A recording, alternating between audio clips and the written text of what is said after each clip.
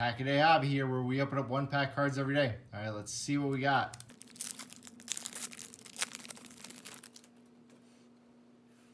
Starting things off with the Clint Frazier rookie. That's a pretty nice card.